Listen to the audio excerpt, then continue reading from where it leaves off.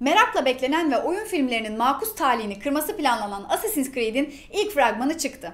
Yalnız izleyenlerin bir maruzatı var. Başrollerinde Michael Fassbender, Marion Cotillard ve Jeremy Irons'ın oynadığı Assassin's Creed'in fragmanı şahane gözüküyor. Var olan suikastçilerin yerine Callum Lynch ve onun atası Aguilar'ı izleyeceğimiz film, Macbeth'in yönetmeni Justin Kurzel tarafından yönetilecek. Aksiyonu, tırmanmaları, estetiği tam Assassin's Creed kıvamında.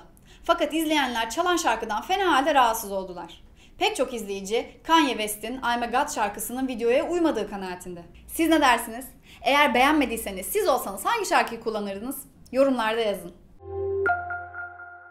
Black Panther'i çizgi romanlardan sevenlere iş çıktı. Artık gönül rahatlığıyla ben bu karakteri popüler olmadan önce de severdim afrası yapabilirler.